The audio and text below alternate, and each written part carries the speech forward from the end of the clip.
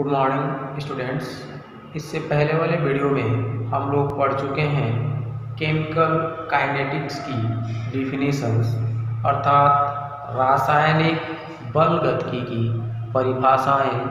रासायनिक बल गतिकी के कुछ मूलभूत शब्द, जैसे अभिक्रिया की दर, किसे कहते हैं? अभिकारक, अभिकारकों की सांद्रता में होने वाले परिवर्तन और उसके आधार पर अभिक्रिया की औसत दर।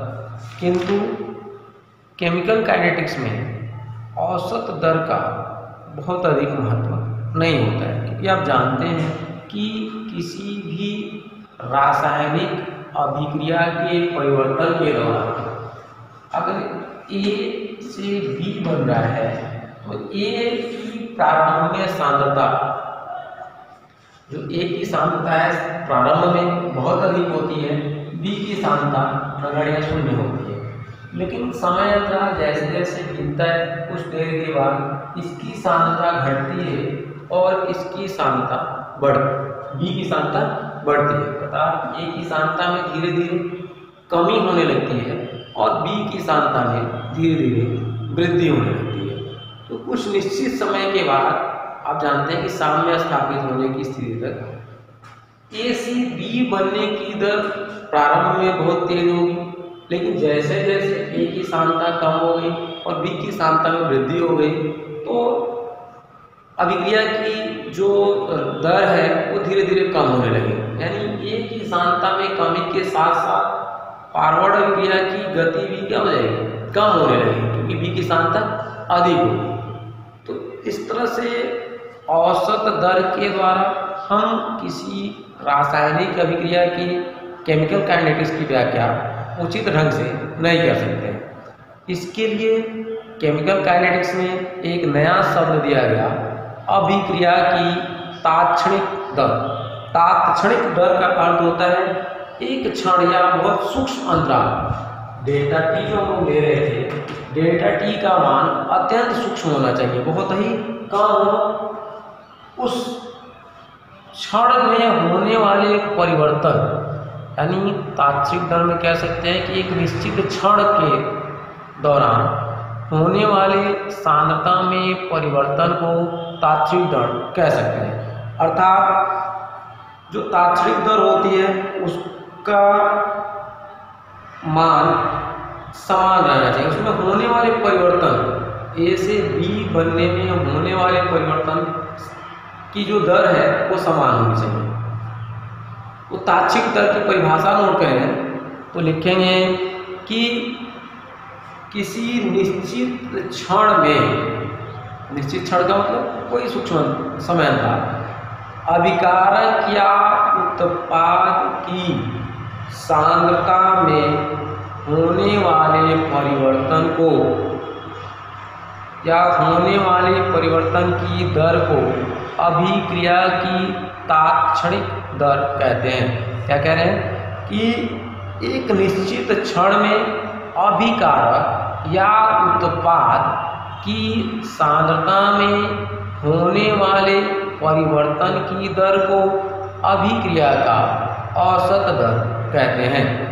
अगर इसके लिए बात करें गणकीय रूप में तो डेल्टा टी को डेल टी के रूप में भी लिख सकते हैं, और कहीं कहीं डेल्टा टी इक्वल शून्य के रूप में भी व्यक्त कर सकते हैं। अर्थात जो समय अंतराल है, जिस समय हम अभिक्रिया के परिवर्तन, अभिकारक से उत्पाद के परिवर्तन की दर का अध्ययन कर रहे हैं, वो बहुत ही सूक्ष्म होना चाहिए। अत्यंत सूक्ष्म हो सकता है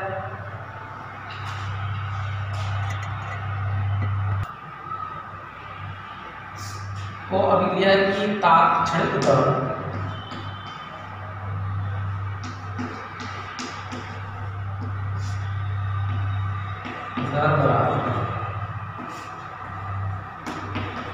औसत दर डेल्टा टी ज़ीरो। अर्थात हम कह सकते हैं कि तात्क्षणिक दर बराबर औसत दर औसत दर को क्या हैं क्यों? क्योंकि डेल्टा टी का जो मान होता है, वो बहुत ही सूक्ष्म होता है। और गणती रूप में माने कि कोई एक अभिक्रिया ए से बी उत्पाद में परिवर्तित हो रहा है। कोई अभिक्रिया है, जिसमें अभी कहा है ए बी में परिवर्तित हो रहा है। तो इसके तात्क्षणिक दर की बात करें तो आप जानते हैं कि तात्क्षणिक दर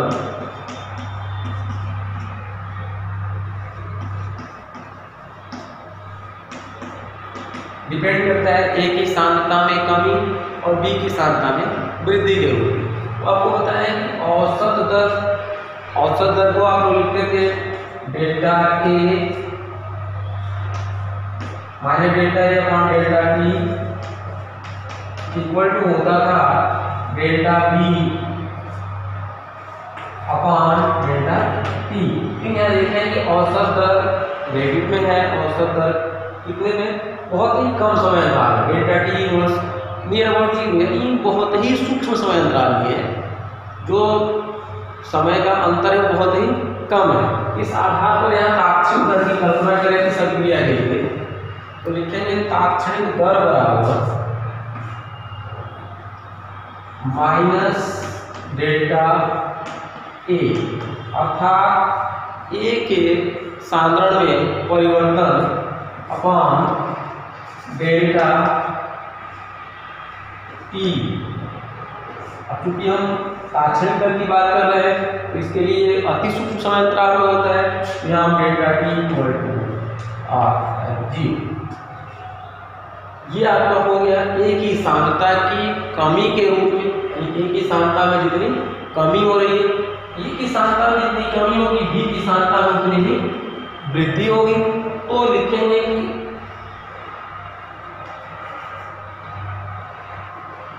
delta B upon delta T delta T inverse B इसको इस रूप में भी लिख सकते हैं। ये जितनी सांद्रता में कमी हो रही है उतनी सांद्रता में वृद्धि हो रही है, वो लिखते हैं डेल्टा बी यानी बी की मोलर सांद्रता में हुई वृद्धि अपॉन डेल्टा टी। एक औसत दर था और आप जानते हैं कि ताक्षणिक दर अति सूक्ष्म समय में लेते हैं। अति सूक्ष्म समय डेल्टा टी इनवर्स ज़ीरो हो सकता है। इस आधार पर ये लिख सकते हैं। और आपको बताया है कि औसत दर की तुलना में तात्क्षणिक दर के लिए हम लोग डेल्टा के स्थान पर डी का प्रयोग करते हैं। तो हो जाएगा तात्क्षणिक दर बराबर।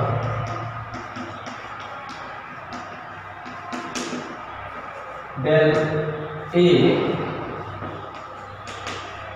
upon del T equal to del B upon del T तो इस तरह से भी लिख सकते हैं। अब हम बात करेंगे अभिक्रिया की आणविकता की।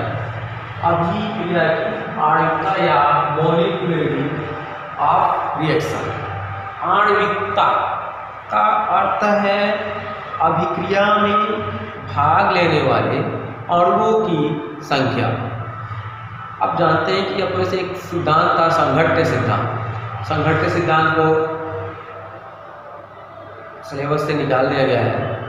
अगर उस सिद्धांत की बात करें थोड़ा सा तो किसी भी अभिक्रिया के संपन्न होने के लिए अणुओं का आपस में टकराना अनिवार्य है। इसको आप एक सीधे सीधे गेम के माध्यम से समझें। फुटबॉल खेलते हुए आपने देखा होगा। फुटबॉल खेलते समय फुटबॉल पे सभी लोग किक मारते हैं। आपने बहुत सिंपली देखा है, सिंपल एग्जांपल से। अगर उसकी बात करें तो आपने देखा है कि जब फुटबॉल पे किक मारते समय सारे किक प्रभावी नहीं होते हैं।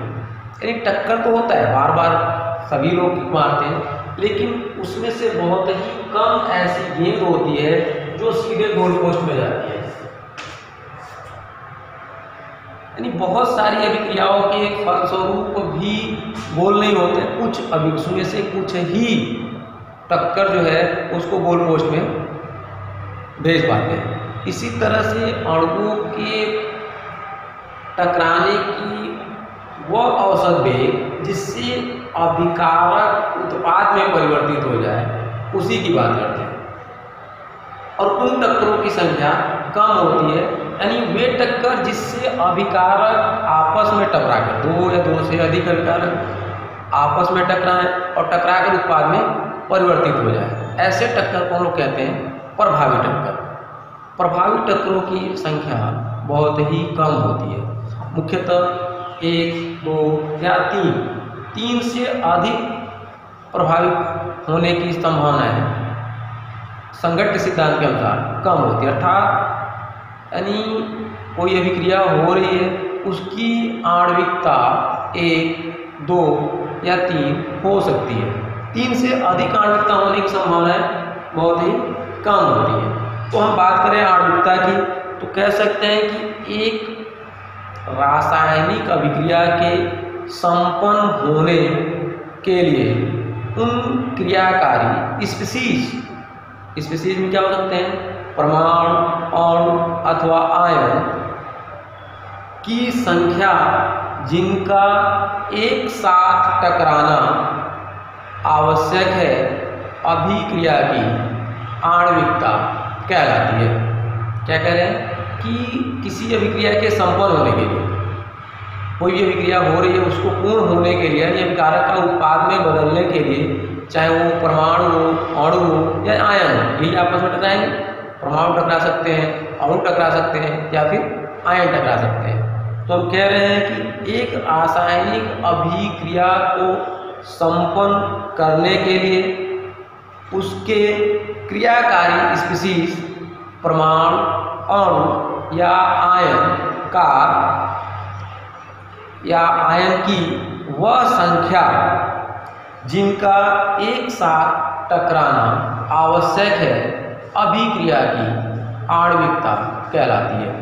अभी इसके पर अभिक्रिया की आणविकता एक, दो या तीन हो सकती है, क्योंकि एक अणु किसी चीज़ से टकराए और उत्पाद में बदल जाए, दो अणु आपस में टकराए या तीन अणु। इससे अधिक अणुओं का आपस में टक्कर के फलस्वरूप उत्पाद में परिवर्तन संभव नहीं है। ऐसा माना जाता है कि बहुत सारे अणुओं को एक साथ टकराने की संभावनाएँ बहुत ही कम है, क्योंकि अणु एक दूसरे से दूर भागते रहते हैं। उसमें प्रभावी टक्करों की संख्या आपको पता है कि बहुत ही कम होती है। इसके आधार पर आणुकता तीन प्रकार की होगी। एकाणु अभिक्रिया द्विअणु अभिक्रिया और त्रि अणु अभिक्रिया यानी एक एकाणु अभिक्रिया की बात करें तो कह सकते हैं कि एक आणविक अभिक्रिया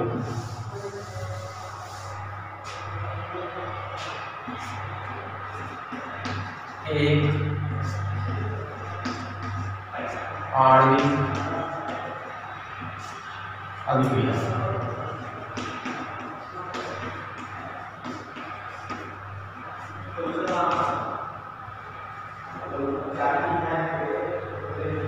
एक आणविक अभिक्रिया जिसमें एक अणु के टक्कर के फलस्वरूप या एक ही अणु क्या होता है? उत्पाद में परिवर्तित होता है। जैसे H2O2 है H2O प्लस हाफ़ इस तरह देख रहे हैं कि इसमें क्या है? एक अणु ही अभिक्रिया में भाग ले रहा है, या एक अणु की सांद्रता में ही परिवर्तन हो रहा है, इसे कहते हैं एक आणविक अभिक्रिया। द्विआण्विक की बात करें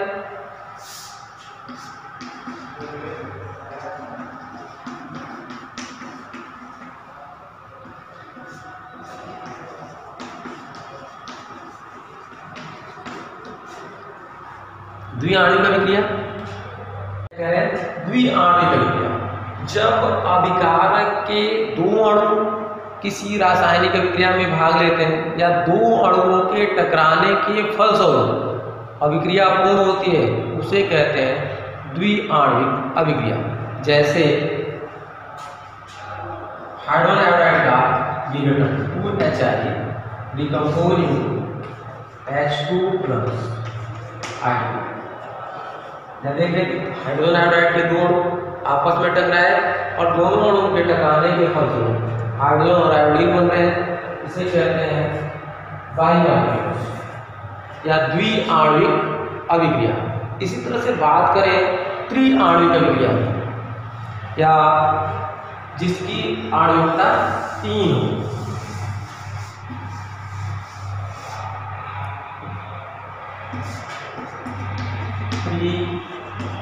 आणविक अभिक्रिया। त्रिआणविक अभिक्रिया का क्या होगा जिस अभिक्रिया के पूर्ण होने या जिस अभिक्रिया के संपन्न होने के लिए तीन अणुओं का टकराना आवश्यक या कह सकते हैं कि तीन अभिकार के अणु जब टकराकर एक उत्पाद बनाए या कई उत्पाद बनाए, लेकिन अभिक्रिया के पूर्ण होने के लिए क्या है? तीन अणुओं का टकराना आवश्यक हो, उसे कहते हैं त्रिआणविक अभिक्रिया। एग्जाम्पल्स की बात करें two N O plus two two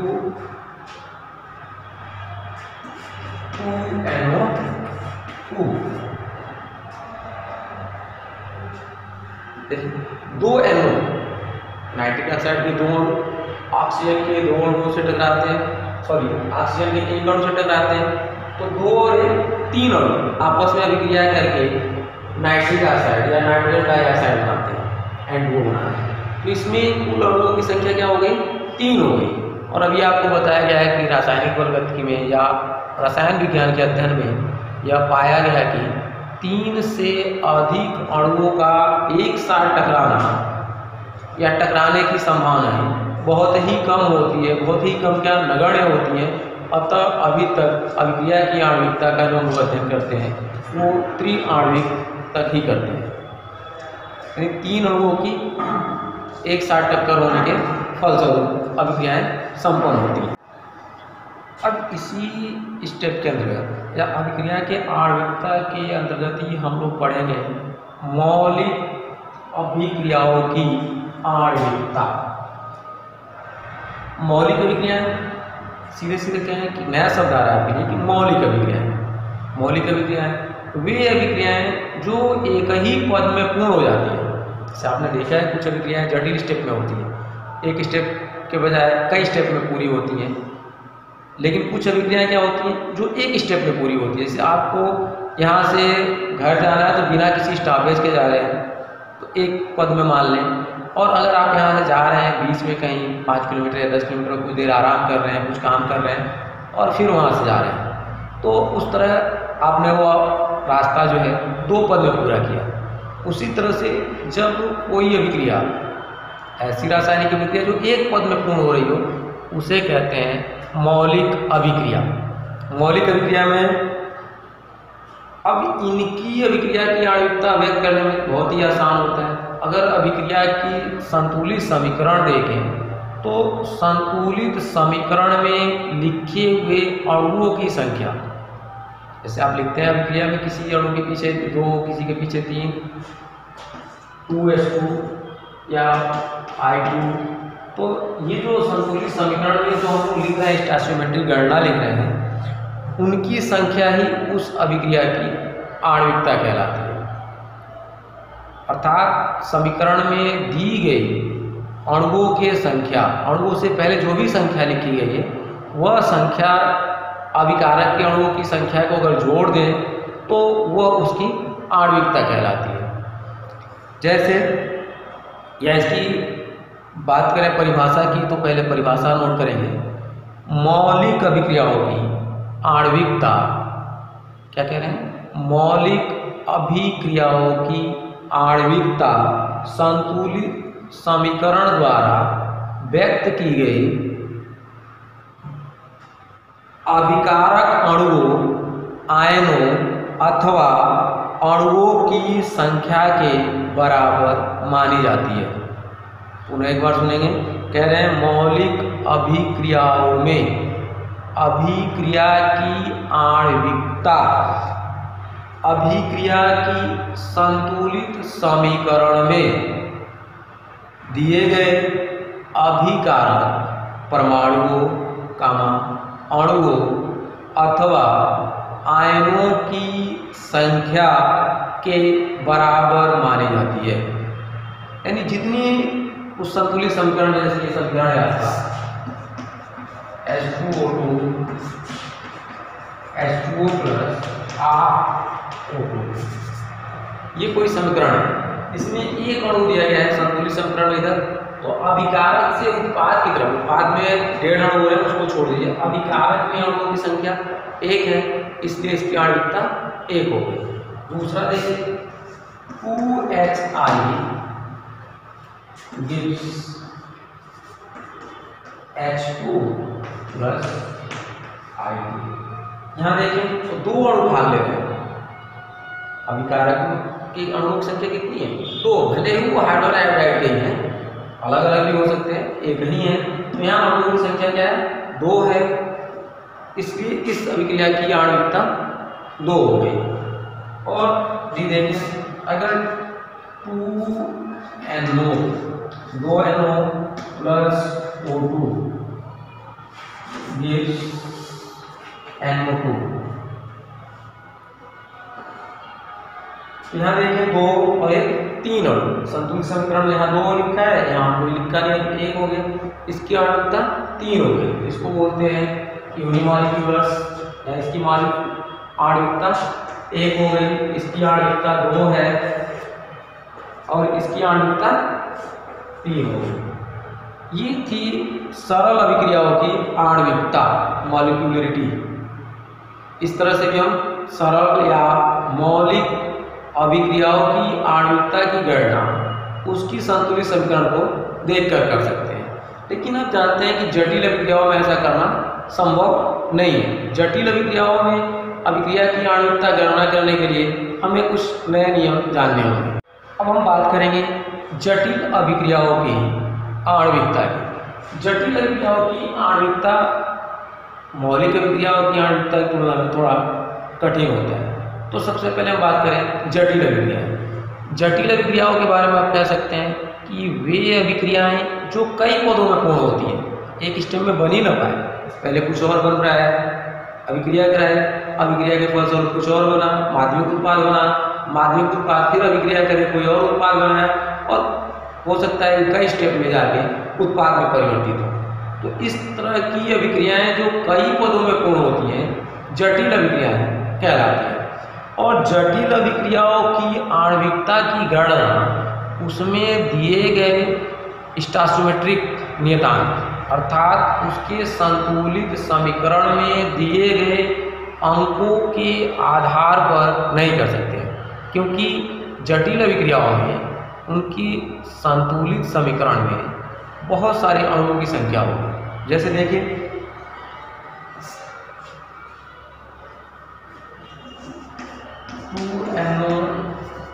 plus 2h2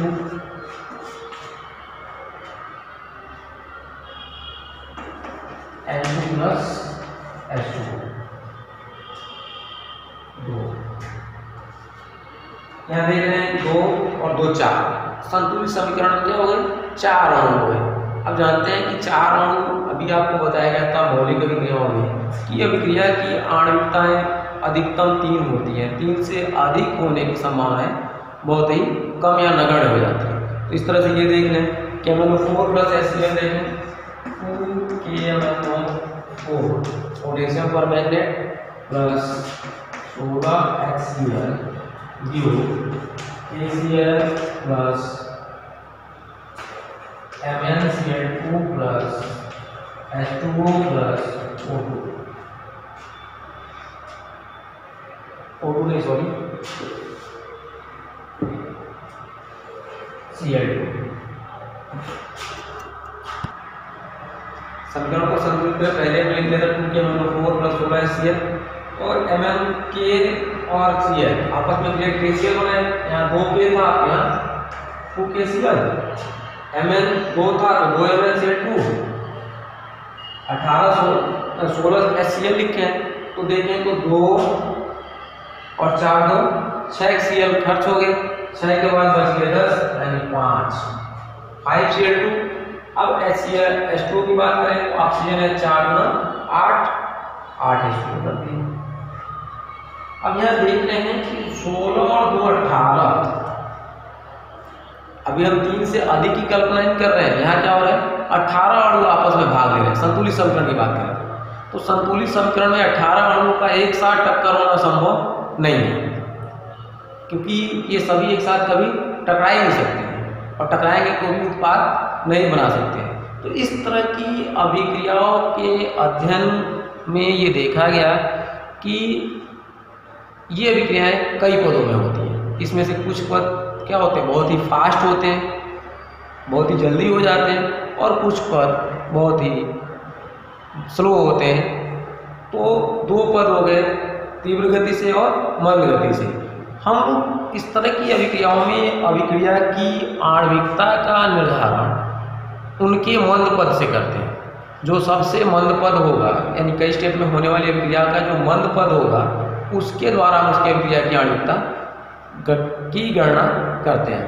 तो कह सकते हैं कि किसी जटिल अभिक्रिया के सबसे मंद पद में क्या कह रहे हैं? किसी जटिल अभिक्रिया के सबसे मंद पद, सोपान, या वेग निर्धारक पद करने वाले सोपान में भाग लेने वाले अणुओं की या अभिकारक पदार्थ के परमाणुओं की, अणुओं की या आयनों की संख्या जटिल अभिक्रिया की आणविकता कहलाती है।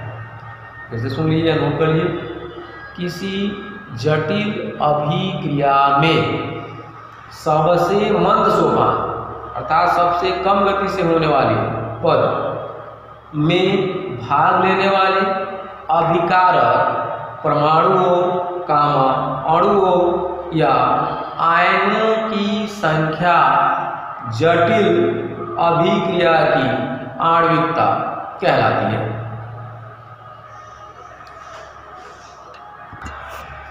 उदाहरण की बात करें तो हम देखते हैं कि नाइट्रिक ऑक्साइड और हाइड्रोजन की अभिक्रिया। नाइट्रिक ऑक्साइड NO और हाइड्रोजन H2 की अभिक्रिया। N2 प्लस H2O एक मंद पद की अभिक्रिया है सॉरी जटिल अभिक्रिया है। दो एन ओ दो N O two N O plus S two plus N two और टू एस टू इस तरह से आप देख रहे हैं कि जटिल अभिक्रिया है। अर्थात ये अभिक्रिया एक पद में नहीं होती। ये अभिक्रिया दो पदों में होती है। पहले पद में देखिए। जैसा कि आप जानते हैं कि अभिक्रिया दो पदों में पूर्ण होती है। अर्थात अभिक्रिया के निर्धारक पदों में दो पद आ गए। एक मंद होगा और एक तीव्र होगा। यानी फास्ट होगी और स्लो होगा तो स्लो पद या मंद पद ही अभिक्रिया की आणविकता को डिसाइड करता है। पहले इसके पदों को देखें तो अभिक्रिया के पद या सोपान।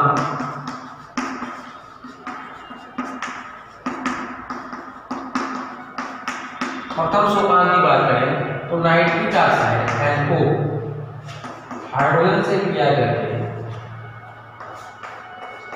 यानी टू और H2O H2O बनाते हैं क्या करें? नाइट्रिक ऑक्साइड मंद पद में हाइड्रोजन से क्रिया करके, नाइट्रोजन गैस और H2O बनाती है गैस में होती है। मंद होती है। अब दूसरे पद में क्या होता है? H2O2 फिर से हाइड्रोजन से क्रिया कर लेता है। तेज़ी से और क्रिया करके H2O बनाता है। यानी ये क्रिया दो पदों में हो गई। ये फास्ट होता है। आप पहले से ही जानते हैं, बता चुके हैं कि अभिक्रिया का वन पद ही वेग निर्धारक पद होता है। अतः ये वाला पद क्या हो गया? वेग निर्धारक पद हो गया, क्योंकि ये स्लो हो रहा है। तो स्लो स्टेप में देख रहे हैं कि दो और एक तीन अणु भाग ले रहे हैं। अतः इस अभिक्रिया की आणविकता तीन होगी फिर से सुनेंगे कि किसी भी जटिल अभिक्रिया में जो सबसे मंद पद गति होती है जिस पद में, उस पद को हम लोग अभिक्रिया का वेग निर्धारक पद कहते हैं और उसमें भाग लेने वाले अणुओं को अभिक्रिया की आणविकता कहते हैं। उस आधार पर देखें, यहाँ दो एन और एक हाइड्रोजन, तीन अणु अभिक्रिया में भाग ले रहे हैं। अतः इस अभिक्रिया की आणविकता तीन होगी।